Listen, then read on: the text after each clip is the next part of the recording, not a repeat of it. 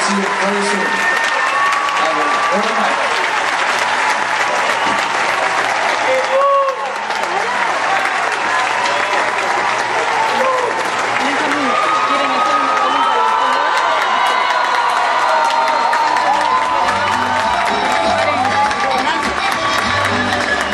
¿Quieren.